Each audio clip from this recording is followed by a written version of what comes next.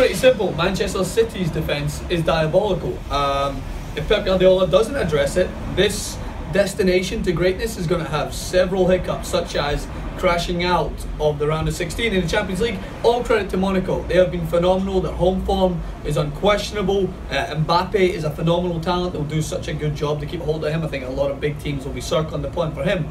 Let's talk about City for a second. Uh, you've let six uh, goals in in two games against Monaco.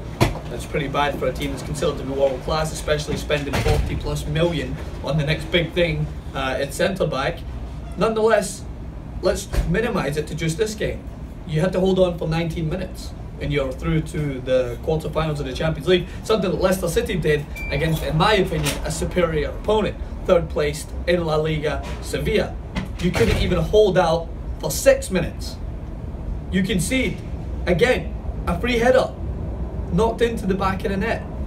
And now Manchester City chasing the game once again, able to get themselves back in it from Leroy Sané. They now had to chase the game again, and they go out on aggregate uh, to Monaco. It's it's shambolic for the money spent. It's embarrassing for Manchester City. They could not have asked for a more favourable tie, and that's again not a discredit to Monaco. It's just looking at the teams they could have faced. They got a decent tie, and they still are not able to get the job done. That's why Manchester City are such a long way off. A long way off. Um, to be fair to Monaco again, they're deadly from set pieces. They really are. And another ball into the box, but it does not excuse free headers inside the box. These are simple, systematic errors that Manchester City, Manchester City are committing on a regular basis. They've done it throughout the season, inconsistent defending, embarrassing at times, and now they did it against Monaco when it matters most. And, and unfortunately, they crash out. But for Monaco's sake, no team will be happy to face Monaco. At this point, you have to play the best. Leicester might be Jason Shelton behind the camera. I mean, they're still a better opponent than some of the teams they're going to have to face. But let's think about this for a second.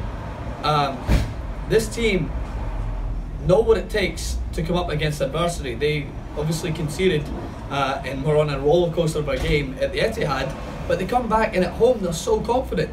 They hit Manchester City right from the get go. They work on the counter attack. They're able to remain consistent at the back, and they've got Mbappe, who's a phenomenal talent. Radamel Falcao, who's rolling back the years, even though he didn't even play today.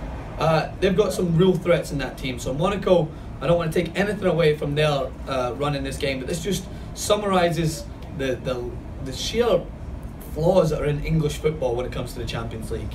All that money. Pep Guardiola, they just needed the players. All right, they got the players. They just needed the coach now. All right, they've got the coach where what else is up to blame? Leicester City have proven that you don't need any of that to compete in the Champions League. What you need is a winning mentality. You need heart.